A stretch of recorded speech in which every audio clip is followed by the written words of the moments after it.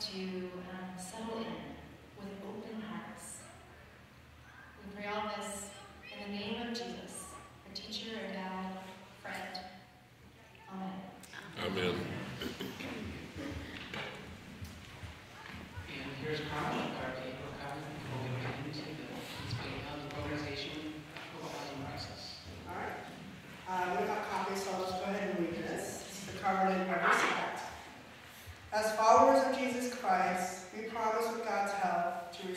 and love each other at all times in the following ways. We will approach all things in prayer. We will speak from our own personal experience from I, not me, or they. We accept disagreement mm-hmm. as normal and natural to community processes. We will speak face-to-face, -face, honestly, without rancor, avoiding triangulation and hearsay. We will listen with an open and non-judgmental try as hard to understand as to be understood. We seek to discover what is best for our church as a whole, not what may be best for ourselves or for some small group in the church. We are committed to being inconvenienced for the gospel. If we are unable to effectively communicate with each other, we will ask a third party to be present to assist us. We will support the final outcome of the decision-making process. As forgiven people, we will choose to forgive one another. Amen. There's another chair.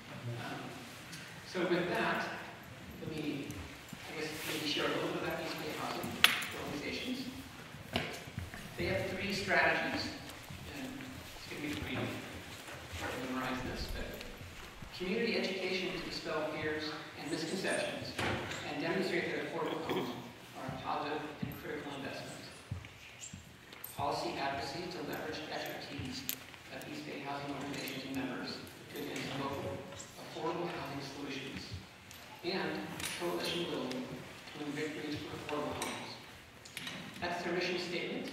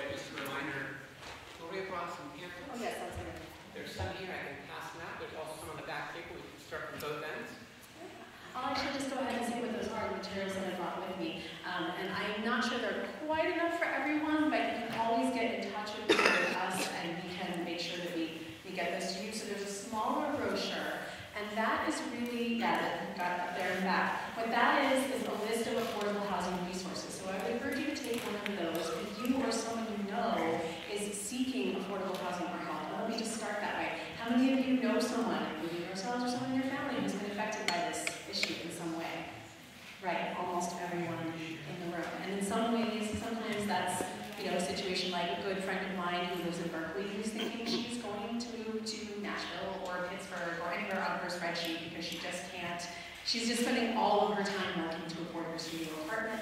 She's gonna be fine. You know, I'll miss her if she moves. It'll be a brain drain if she moves. But, you know, we probably all know stories like that. And then on the other hand, I have my friend who has been camping in the open hills for the better part of nine months because he can't get back into an apartment right now. And the folks that we work with at ECHO, who are in much more dire straits than that. So that smaller brochure, which I have a slightly more limited um, is really just a list of places that you can go or other people can go to call and say, can I get on the affordable housing wait list? Can I have, can I get a resource? Can you tell me what to do? Um, so that's what that is. And then the larger book, and there's a whole ex- another box of them under the table too for running low. But um, this is our annual publication, our affordable housing guidebook. It's got a lot of different things in it. One of our board members calls it the Swiss Army knife of affordable housing because if you want to see pictures of what affordable housing community might look like, there are actual examples here. If you want to read stories of folks who have um, found their lives transformed by being in housing, their stories are here. If you want some basic facts about what am I saying when I say affordable housing, I'll get to that. That's in here too. And also, all of the resources in that smaller brochure are also in here. So you can, so you can take one of those. Um, so that's, that's those materials that I have with me, and I will also make sure that we get passed around at some point. I didn't bring one of my fancy sign-up sheets, but at the end of this, if you're like, I would like to learn more about this, I'd like to be on that post email list, and how I can get involved, maybe you can be a member, please sign up here and we'll get you on that um, email list, and you'll get email updates occasionally, many of them are very complex, Sophia. Um, so, uh, please, please do sign up if you're interested. Okay, without any further ado, let me go ahead and, and get into a bit. So I thought I would start by just, you know, I was recalling an event I went to uh, last May during something we do called Affordable Housing Week. So as part of our mission to educate, every May we put on a whole series of events with our members. We are a member organization, so we have almost 150 organizations and about 300 individuals who are, who are members who do our work with through. And every May, we all put on a bunch of events to celebrate and educate. And one of those events was the opening of a senior housing development in San Leandro, right across from the San Leandro BART Station. And I went, it was the usual, let's tour this beautiful building, let's have the bankers and the city officials and the architects all come out and say their piece, and it was great, and a photo ops. And I was wandering around afterwards, and a woman who was in a wheelchair came up to me, and she just said, oh, did you, did you build this building? I said, oh, no, I can't take credit for that. My organization helps make sure that buildings like this can get built, but no, I didn't build it. She's like, oh, can you please introduce me to the people who built this building? Because I live here now. I've lived here for a few months. And prior to that, I was living in my car for two years, senior, um, senior with a disability. I was living in my car for two years, and I was so sick, and I was on so many medications, and I was on antidepressants, and I was a mess. And I went and I saw my doctor six weeks ago, and my doctor could not believe what he saw. And he said, What happened? What did you do? Did you change your diet? Did you, what happened? You are so much better. I didn't do anything differently. And he, it's like, you're a new woman. She said, Yes, because I have a roof over my head. And so, you know, that's just one of the things that I want to pray across is that if you're someone who cares about health, or you care about education, or you care about our elders, or you care about any number of things, and you care about affordable housing because it is foundational to all of those other things. So that's that's one of the several stories I'll share. Oh, the other point I should throw into facts, because everyone very much believes in facts in this post-fact world we are unfortunately living in. Not in Berkeley, all we're sharp and very much into facts. We really appreciate that. Um, that building that she got um, a, a space in, I think there was something like 100 apartments in that building, and Bridge Housing, which was the nonprofit that built that, and another property near MacArthur BART in Oakland, they had about 200 apartments available between those two buildings, and they received 11,000 applications for those. And that is not, any of the, any of our member organizations will tell you, that is not a weird or extraordinary or unfortunately shock, I mean, it is a shocking statistic, but that, that's standard, to get at least 10 times as many applications as you have apartments available.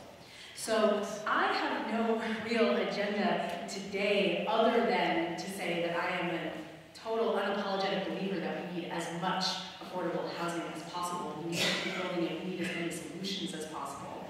And also just to bring my agenda, which is EBHO's agenda, which I think is probably the agenda of many of you, which is just to keep promoting the idea housing is a human right. Everyone deserves it. Everyone deserves a quality, safe, affordable home, roof over their head. And also that we believe that housing justice is racial justice, is social justice, is housing justice. It all comes together. So that's a lot of what we're trying to do um, in our work. And um, so, so I'm just here to sort of promote that, and promote it through like a couple of, a couple more facts and context as well, and then hope that you have the information this process of discernment, and please do, let's get into conversation about it later. I also just want to thank um, First Church for all that you have already done on this issue. You have supported East Bay housing organizations. Several of your congregants have been very active members over the years, like Amy, Stan, Mo Wright, and others. And we really appreciate that. Um, and you all hosted our interfaith breakfast, I think, two years ago, and our hearts were really with you because I think that event was in your, in your space, I think, about two weeks before the fire. So just know our, our hearts have been going out to this community and also knowing your resilience. Um, and right after that, you all were supporting Alameda County Measure A1, which was one of the bright spots on the November 2016 ballot, uh, which brought um, $580 million into Alameda County to build and preserve affordable homes. And you all supported that um, in a full way, and we really appreciate that. So what else can we do and why do we need to do it? So what we do uh, as an organization is we preserve, we work to um, create, preserve, and protect affordable housing opportunities. And as Dan was saying, we do that through education, through advocacy coalitions, and also through organizing. We do direct organizing of folks who are affected by the affordable housing crisis and now live in affordable housing in Oakland. Um, and to share one of those, um, one of those types of stories, a couple stories which are dispersed throughout. I was talking with um, Susan Friedland from SAHA, know you had SAHA come represent a while back. they have a property that just opened uh, a few months ago near the Ashby BART. It's a beautiful yellow and gray building right on at the intersection of MLK and Adeline. If you see it, you probably didn't know it was affordable senior housing, but it is. It's homes for people who are emerging from homelessness. And one of them, Ms. Stewart said, I'll just quote her, she said, we need more affordable housing like this in Berkeley. I was almost sleeping outdoors, and I know I can't live outdoors at my age. Living here at Harper Crossing has done wonders for me mentally. It is a blessing to be home for the first time I feel like I'm home. And there are just stories like that all over, and we need more stories like that. Because just to give you a little bit more context, as the county was doing research on why we needed this A1 bond in 2016, they found with some of their partners that we have a shortfall of something like 60,000 homes that low-income people can afford across the county. 60,000 homes that low-income people can afford. So it's not just about building way more houses. That's important too. But if we keep building homes at the high end of the market, um, we, we strongly believe as an organization, I'll be transparent about this, that yes, we need to build more housing for people at all, all income levels, absolutely. Because people at almost every income level are being affected by this crisis right now. However, we, our emphasis is on low-income people, and we truly believe that when we build, we also need to be building and preserving for low-income people. Because unfortunately, the way this country and this society has constructed housing is as a, essentially as a vehicle for investment profit. And this is not to be vilify anyone, but to be perfectly honest, there will never be profit in housing people who are disabled, who are extremely poor, who have special needs, who are emerging from homelessness. That will never be a profitable enterprise. So the market on its own will not do that. It's simply not a rational thing for the market to do on its own. So we believe that there have to be other interventions besides the market to make sure that those people who need it most have a home. and um, so, let me see what else we're going to go with that. Um, so, and, and I think um, you may be surprised by when you see the people who need housing the most, who they are. Um, it's actually quite a wide range of folks. And in the um, publication that I brought, we uh, like to actually break down what we're talking about when we're talking about affordable housing. So for those of you who have it, you can also see this on our website. Page four and five gives some facts that people really often find really useful. Like what am I actually talking about when I say affordable housing? And who qualifies for it?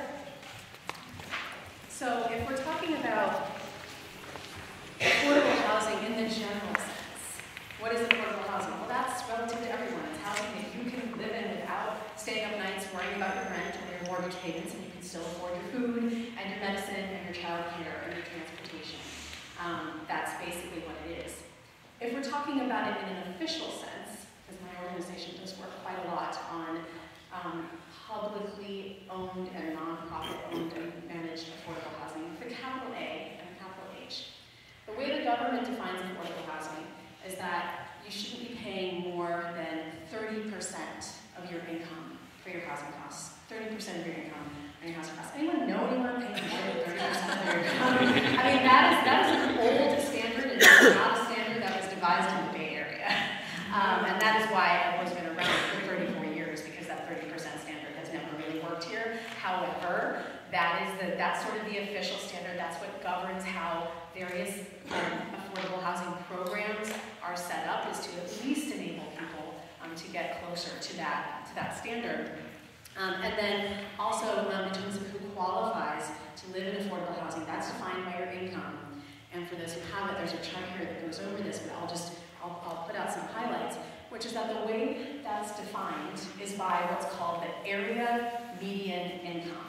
So it's basically you look at all the incomes in the area, and you say, okay, half of the people in the area make more than this number, half make less. Let's use that as a way to figure out relatively who should have access to this public benefit. And um, the Bay Area, as you can imagine, has an extremely high median income. So a family that's at 100%, family that's right in the middle, family of four, is making close to $100,000. So around now in 2018 is probably going to be updated to about $95,000 a year. Most affordable housing programs are targeted at households that are 80% of that area median income or below. So most are targeted 80% or below, and 80% for that same household of four would be $75,000 or below.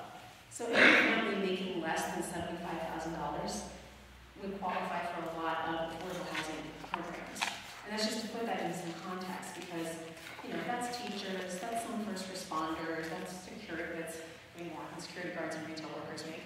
Um, and, and that also put it in perspective, that also means that if you have a family where you have two professionals or two, you know, whatever folks are doing it, each of the two heads of household are making fifty thousand a year, and together they're making a hundred thousand, probably don't qualify for affordable housing, even though they may actually still quite need it. So we have, so there are a lot of different issues. And then on the other hand, you have folks who are emerging from being outdoors with the idea of making fifty thousand dollars a year is like an impossible, impossible dream, and are lucky to be pulling in maybe eighteen thousand a year in general assistance or something like that. So it's quite a wide range, but we want to make sure that people know that it is a wide range, that there are folks in all walks of life who qualify, more than some folks might realize.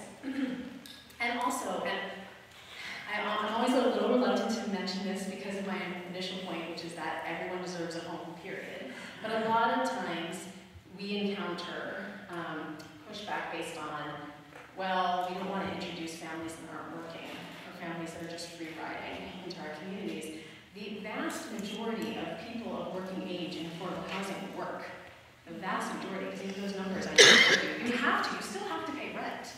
You still have to pay rent. It's just a rent that is managed um, and subsidized by the entity and, and by, and by the public, basically. Um, so that's just a really important point that I want to make. So those are just a few definitions of what we're talking about when we say affordable housing and what does it actually look like. Um, there are a number of different programs and forms that it takes um, in this country and in this, this part of the world.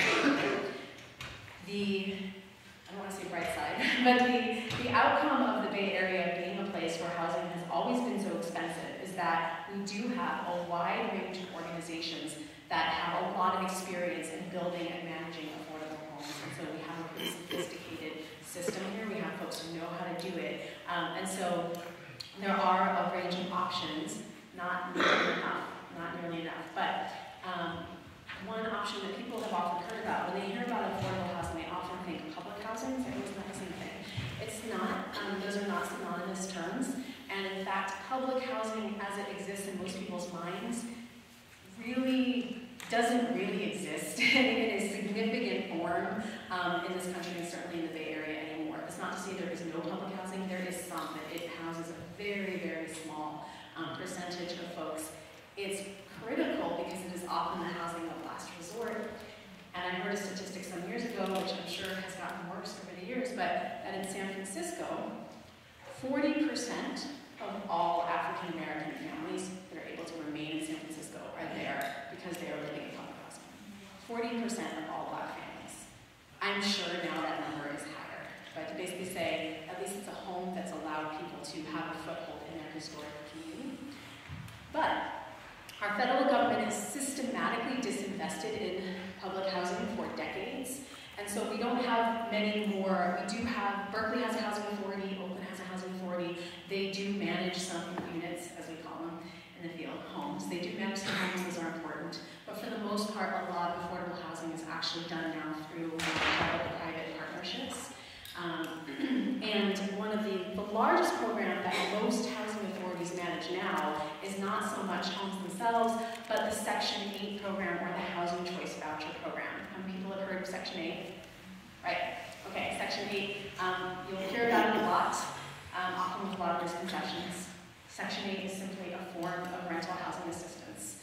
That's, that's what it is. Basically, someone can get it to go and get help paying their rent in the private market to a So it is the government and the housing authority saying, here you go, here's, here's a voucher, this is going to help you pay your rent. Doesn't mean you don't pay rent, just means that you have some assistance doing it. Only about one out of every four families that will qualify for Section 8 has a voucher.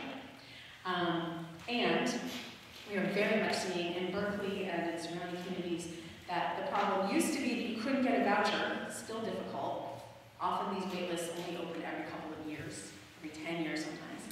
If you have a voucher now, though, you often can't use it because with what the market is like right now, basically a landlord, and, and this is real, Section 8 does come with some red tape and some bureaucracy because you are dealing with the government helping to pay your tenants rent. And a lot of landlords are like, why would I do that when I can just charge three times as much to someone who's going to be here for a year or two, to a tech worker, to a, you know, whoever, whoever it is and so what we're finding is that uh, one of the housing authority directors explained it very well to me. She said there are three categories of, of landlords that work with housing, that work or don't work with housing authorities. There are landlords who are always going to be okay taking Section 8 or taking vouchers because they know it's a reliable source of rent and or they want to help folks out. There are landlords who are never in a million years going to touch a Section 8 tenant, whether that's because of stigma or racism or just not wanting to deal with the paperwork or because they only own luxury high-end apartments. And then there's a whole bunch of landlords in the middle. And they'll take Section 8 when the market is bad, and they won't when the market is good. And it's that section of landlords in the middle that has just disappeared. Mm-hmm. So we don't even have a place for folks to live if they have those precious vouchers. And, you know, there's so many reasons why that matters, but I want to link that back just a bit to the incredible problem of people living unhoused in Berkeley and our surrounding communities, which is that, you know, I, am on the board of, of Everyone Home, um, County's um, collective impact and homelessness. Um, Mo Wright is on the board as well. And I've learned a lot in that board working with other homeless services providers. And it's really interesting is like they all say to a person, all of them will say, you can give folks who are sleeping outdoors or in their cars or whatever, you could, you could walk up to them, you could give them a whole bunch of money today. Walk up to someone, could hand them $1,000, $2,000 in cash. And it almost wouldn't matter. You could give them all the services in the world, and Alameda County is excellent at really trying to get its services together better and like figure out what's the right intervention for the right person. And there's no place for people to go. They can have all the services in the world, they can have money, they can have assistance, and there's no place that is, that is these folks can run to. And that is why in the Alameda County homeless count that was done in 2017, for the first time in several years, the number of unsheltered folks went up. Not because of the efforts of the county, which have been amazing, but because of this housing market. So it's all very, very connected. So I just want to put a point on that. Um, let me move to solutions really quick, to what we're doing so that we don't all live, live here in despair, but that we have some ways that we can go forward. Um, so, right, so what, so what we do, as I mentioned before, we work to create, preserve, and protect affordable housing opportunities. So let me break each of those down super quick. Um, when, I say we work to help create affordable housing opportunities, that means that we are often working to get more funding, more land, and more political will to build affordable homes. Those are kind of the three basic elements. Land, funding, political and public will. That is somewhat in order of difficulty, really depends on the Um, but I, I, I do really want to put a fine point on how important that first piece is, land and property, and why there are so many congregations starting to look at this issue. Because can't make more land. Only got what we've got. It's incredibly expensive in the Bay Area. So why EBHO is doing a lot of work on uh, public land. We are pushing a lot of, we're pushing the city of Oakland, and we're working on the regional level to say, hey, if you have land, actual property, please, please use it for affordable housing, or please consider that before you consider another use. Please, because we have the organizations who know how to do this, who put together the financing and like, you know, thread the needle and get this done, but they cannot do it if they don't have a place to build. So I just need to emphasize that incredibly strongly. Um, so we do a lot of work pushing um, cities and other jurisdictions to use their land. Um, and we also have an interfaith program, and our interfaith coordinator couldn't be here today, um, um, Pastor Demetrius Burnett, but he is really involved in working with communities to get folks from faith communities involved in advocacy, but he also um, helps us occasionally consult with congregations who are looking at what they can do. And what we do is we connect those congregations with folks in our membership who are affordable housing experts, either on financing or development, and you know, kind of make those connections so that they can know what to do. So for example, there are a lot of historic black churches in San Francisco and in Oakland that have developers just showing up now being like, hey, this is the parking lot. Hey, I see the old building of yours. Why don't you just sell it to me? Your church is struggling. Just sell it. Just sell it to us. You're gonna make some money. You know, it'll be good. It's gonna solve your problem. Um, and we're just like, hey, wait, before you do that, please come talk to some people who can tell you how you could perhaps build something on that site that also meets your congregation's calling. And so we have worked with um, a few churches in Oakland. Um, there's one right now that's building senior housing in partnership with a developer called HumanGood. Um, there is um, a Baptist church on International Boulevard that we've helped to navigate the process, and they're in the process of getting funding to build affordable housing on top of their sanctuary, actually. Um, and then we've also helped to support um, the Trinity Center in Walnut Creek. I was just talking to someone about Trinity Center a few minutes ago, um, and that's associated with an Episcopal congregation. And they are in the process, they are building right now, they're building affordable homes with one of our member organizations, a developer called RCD, who I understand you all have been in conversation as well. So I just want to say that this is hard work, it's not easy, but it has been done. Tons of precedents of, um, of you know, congregations getting involved in this, and I know that you know, a number of years ago, um, this, this community was involved in, in making Amistad House in Berkeley happen. So it's exciting. So there, that, that's some of the different ways that we help to create affordable housing. We also support efforts for more funding, such as the Alameda County bond that I mentioned, such as in Berkeley last year, many of our members were part of the driving force between Measure U1, um, that um, tax on business license tax on property owners to help bring more money for affordable housing. So those are some of the things we do. We also work to preserve affordable housing through our members. So what that looks like is um, working to figure out how can we actually buy, um, or not us, but how can, how can nonprofit organizations go and um, purchase and manage apartments that are in the private market that maybe are not very well maintained right now and clean them up and um, have their rents be stabilized so that folks can live in decent housing in the private market. Um, because most of what our members do is actually build new housing or rehab housing using a series of different public funding sources, which is great and important, and there's a number of those properties uh, featured in your book. It's also incredibly time-intensive, difficult, and expensive work, worth every penny, but hard work. And so we're also looking at, instead of just building new, how can we rehab and reclaim what else is out there in the private market? And then finally, we do a lot of work to protect to protect people where they are.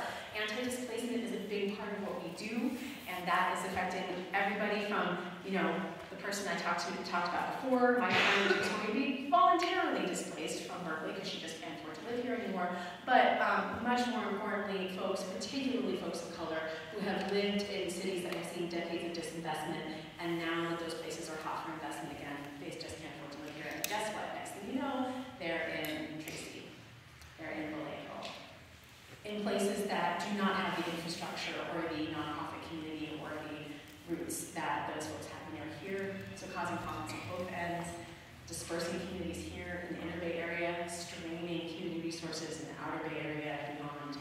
Um, and so we've done a lot to figure out how can we do more to help support tenants, um, how can we do more to make cities policies that make sure people can stay.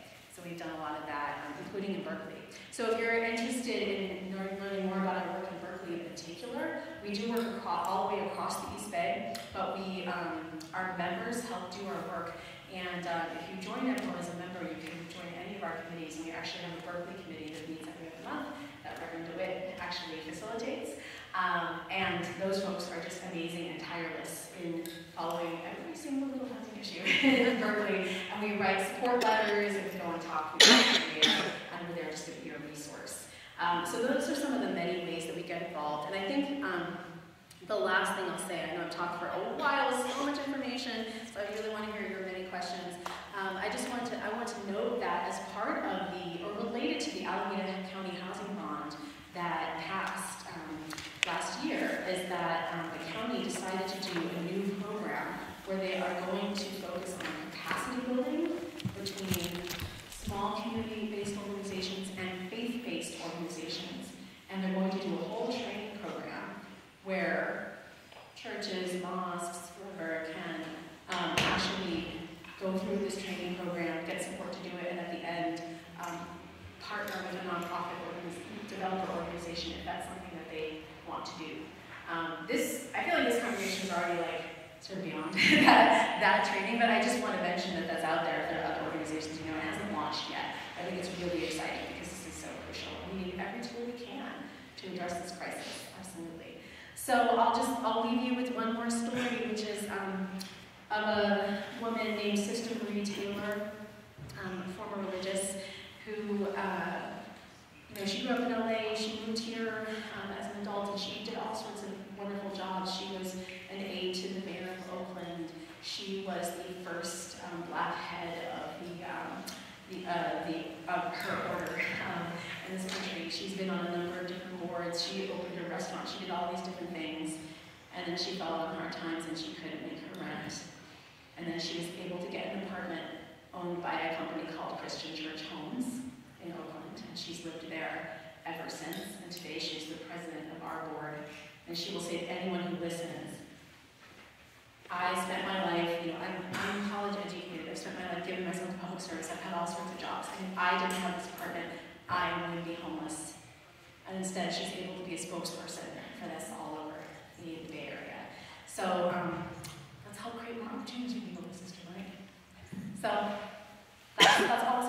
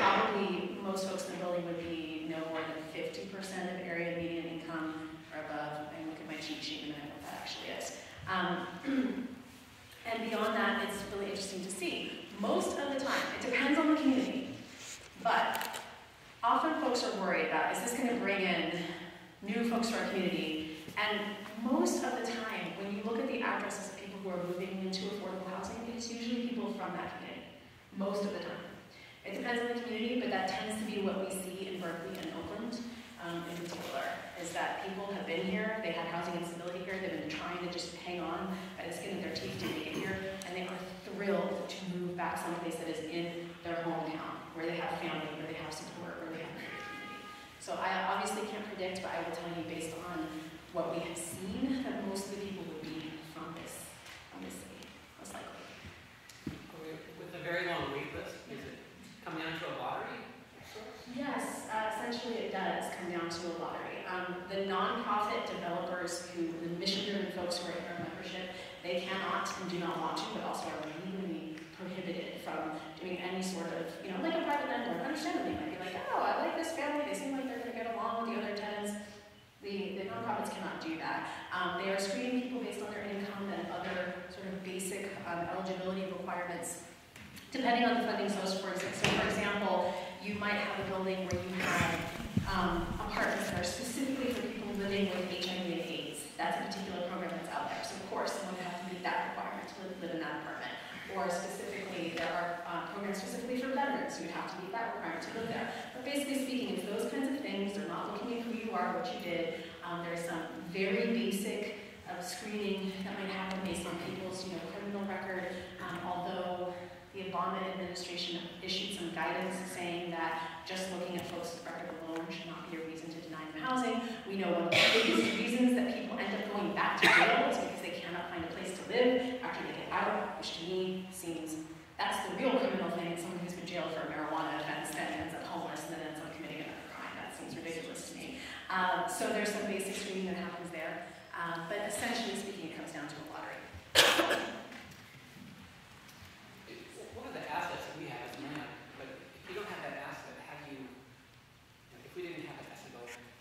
how would we go about finding land to build on, to support, you know, as part of our mission? How would you go about finding land?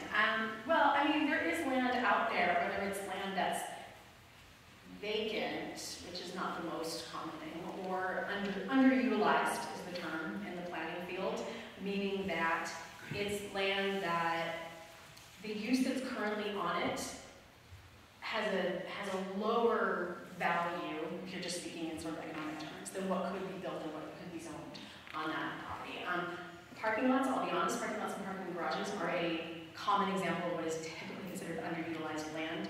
Um, and in downtown Oakland, for example, we've seen a lot of this, where we've seen parking lots and parking for years. That was the most logical use in downtown Oakland.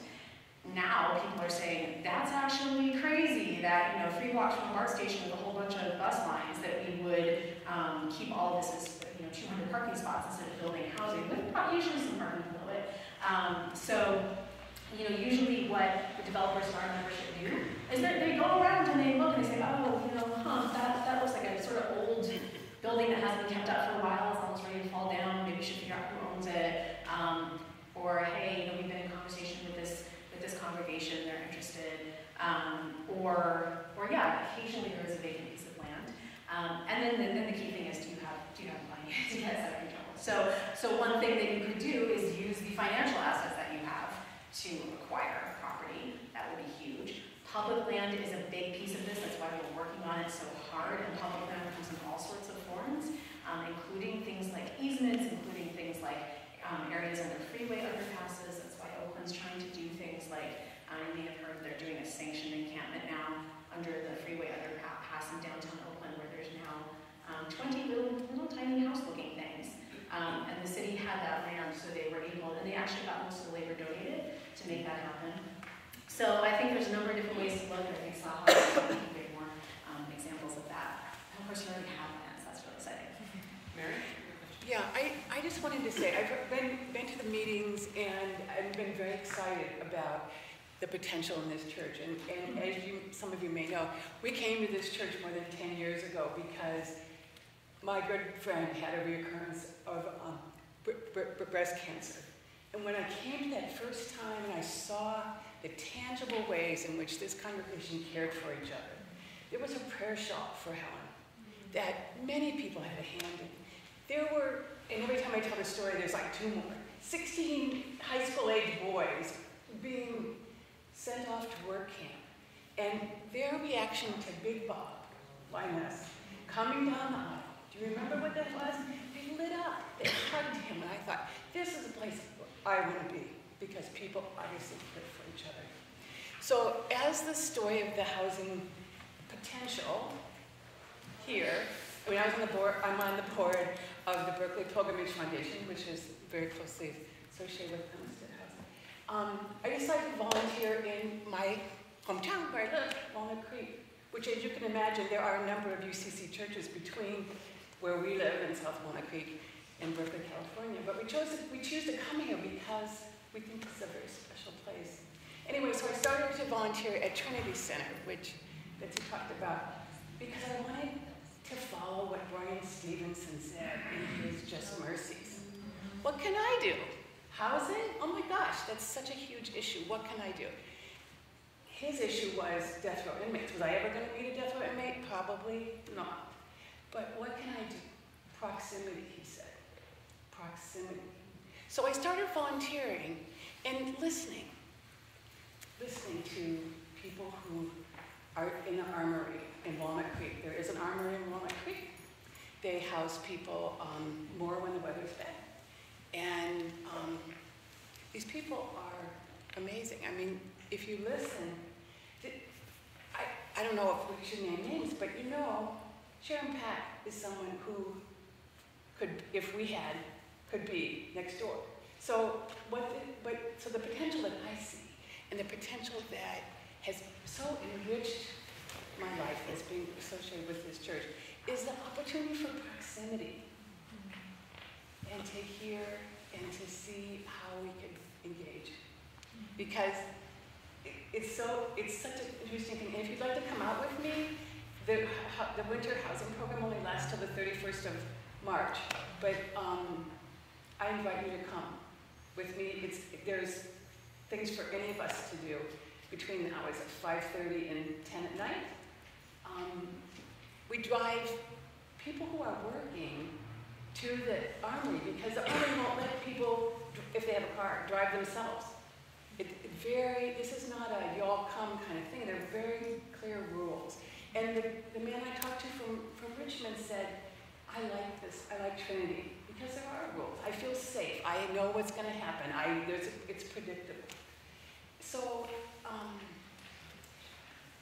proximity, it's really helpful.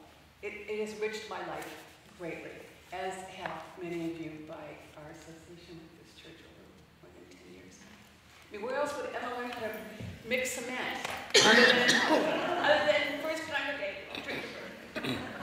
No. Thank So you. anyway, I just wanted to encourage you to think about that, and if you want to join me in volunteering at Trinity Center, please. It's only a short drive from here. You want to emphasize proximity? Yes? Yeah. Um, so I'm 27, two 27 year olds living at home in my 900 square foot apartment. Um, so there's a big shift going on generationally, which will have a lot, has a lot of repercussions and impacts. Um, in addition, I'm from the arts community, so, um, like you can see with what happened with, you know, the ghost, uh, ship fire, and the, sort of the implicit issues of culture, culture bringers.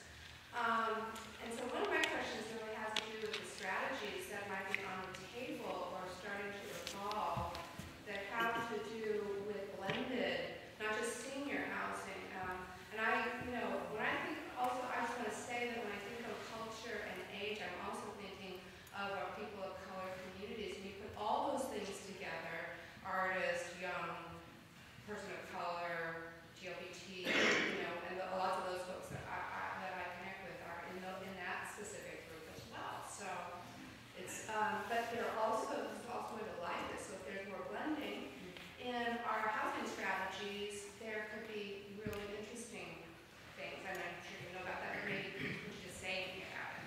Yeah, thank you, that's a wonderful point, so I'll add another expression here too. Um, so, yeah, I think most of the folks who do this work agree that mixed everything is best. Mixed income, mixed jobs, mixed ages.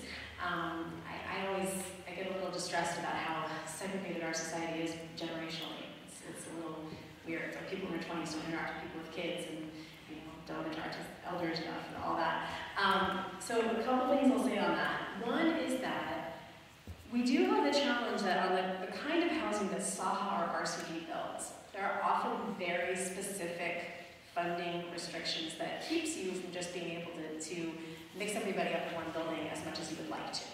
Um, so that is a little bit of a challenge. However, some, um, some organizations have gotten creative about that. So there's a, there's a, there's a property here, this is in Hayward, and this is a group called Eden Housing, and they built a senior building right next to a family building. Not quite the same as being in the same building, but at least those folks are right next to each other. Um, so that's, you know, that's one sort of example of how it can, how it can happen. Um, there's been a lot of work to figure out how can we provide homes specifically, for example, for people from the artist community. Um, Oakland has a whole task force on that. Um, Satellite Associates has done some work on that. They have a property in Oakland um, that is called Adeline Lofts that was specifically designed to accommodate folks who are makers or artists. It doesn't mean everybody in the building is, but some of them are, and the building kind of fosters that. Um, some of who ends up in a property is also really comes down to the marketing and the word of mouth and you know the community sponsors who are involved in it. That's one of the reasons why Alameda County is so excited about getting more faith-based organizations and institutions into this work because they know that you all have built-in networks and can make sure that when it's time for that lottery or for that what they call marketing list often to open, that you are talking to your friends and your neighbors and your fe- fellow congregants and saying, hey, make sure you get in that. Hey, I'm going to help you fill out your application. Hey, did you know blah blah blah? And that personal outreach actually can make a difference sometimes in who applies and then of course who, who gets in. Um, and you know, I'm talking mostly today about the intervention of affordable housing properties that are built and managed by nonprofits or other entities through these very specific funding sources. There's also, of course, all sorts of other programs like Section 8, like vouchers, like just helping tenants out that help to foster you know, diverse and mixed communities. The last thing I'll say is that one way that I think this community in particular, and, and many um, uh, communities in Berkeley and elsewhere, can help with that um, is what some of the research has shown is that while it is important and ideal to, for example, have people of different income levels living in the same building, say it's a big apartment building, or have people making all sorts of different kinds of money, um, mixing together, so that you're not having further concentration of uh, poverty, and so that you are having a proximity effect that is really important. Um, what some of the studies have shown is that it's almost more important to make sure that neighborhoods are mixed than to just worry about buildings being mixed. Because that's what gives people access to opportunity. So if you have a relatively affluent community that allows an affordable housing property to be built in that community, even if that affordable housing property, everybody in it is between 60 and 80 percent of area median income, you have just made that whole community more mixed. And you have just allowed those kids to go to better schools, and you've allowed those parents to get, hopefully get jobs in, in better places. And I do want to say that there is actually, um, in your average nonprofit housing community, there is some range of incomes, usually, you know, it might be like between 60 and 80 percent of AMI, or 30 to 60 percent of AMI, there usually is some range there, um, so I want to here. But it's really about building diverse communities, and frankly, a property here could help to do that. So, both in age too, given where you are. Uh, yes, Ms. Jones, maybe. Uh, You spoke about create as well as preserve. And I think what we've been talking about is create. Um, And I'm wondering, as an option, to get a sense of what preserve looks like, and are there government programs that would hate, with, I'm sorry, would aid an organization in making that work? Yeah, the preservation question is a great one. Um, so we've done more work on this in Oakland than we have in Berkeley, but there are a lot of lessons that we can take. Um, and actually, some of the same organizations um, that you've talked to also do preservation work. That thing that I was talking about, they go, to find a property, they acquire it, they buy it, they fix it up, or rehab it, as we say in the speak, um, and then make that into affordable homes. So you're preserving that and making sure that that's one more apartment that you know, the rent can't go sky high because there's a mission-driven entity owning it, and that takes money. So certainly, um, helping to find ways to put into loan funds um, or other programs to help make happen. Um, I think that's that's definitely something that you know that um, First Church could look at. I suppose if you have enough assets and you could actually acquire a property on your own, that would be another, you know, and partner with a developer to do that acquisition of rehab, that might be another option. I know there are folks um, in this room who have more expertise in this than I do. Um, but I think, you know, like I said, there's land first, but funding and financing is number two. And then, of course, political public will. So really, whether you're talking about your own assets or something else happening in this city or your own city, don't in Berkeley, because I know people other communities, anytime you're going out and saying to your city council members or your decision makers or planning commissioners, whether it's talking about building a new property, fixing up an old one, or finding some way to shore up tenants, they need to hear from local residents about why that matters. So even just using your institutional credibility and power and strength to speak out for that is really important. But absolutely, using financial resources for preservation is a great thing. Okay? Um, I think there is quite unanimity in this congregation and a passion to do what is right. Um, And I'm glad to be a part of that. I do hear a concern about aesthetics.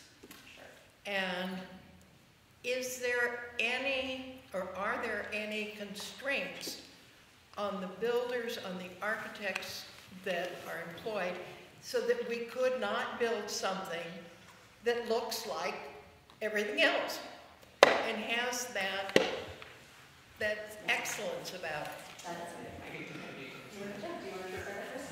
So, within our congregation, um, there are concerns, yes, but also within our immediate neighbors. And so, we've had a conversation with uh, uh, Berkeley Historical Association, and they don't oppose the project in principle. Asked that it maintain some sort of uniform appearance with the street, right? So they don't want a stucco box. Their resistance or their willingness to help us with this process, of course, taught us this process. Well, in, in part, it depended upon the finishing of that building and how it affects the appearance of the street. Are there any constraints on the contractors, et cetera? That's, that was, Well, you know, I think it all depends on if you're to enter into a partnership with the developer, figuring out what that partnership looks like, how it was structured, how, you know, what, what degree of leadership, ownership you, you have um, in working with that developer. What, what I can tell you is that um, nonprofit affordable housing developers are very used to dealing with this exact concern. And it is sometimes for very legitimate reasons and sometimes for less legitimate reasons, something that, that they have to contend with a lot. And they are very used to constructing properties that fit in with the community and with the surrounding buildings. Um, I wish I had brought some slightly different pictures. You can, I mean, you can see there's actually quite a wide range um, of types of properties, from like very modern, sort of boxy, urban-looking properties to um, this one which is just these little white, you know, stick-built townhouses, townhomes in Martinez. Is, is Martinez? Yes. Um, and Martinez actually had, got that book. Um, Martinez had a knockdown, drag-out fight for years over senior housing development that RCD, based here in Berkeley, built.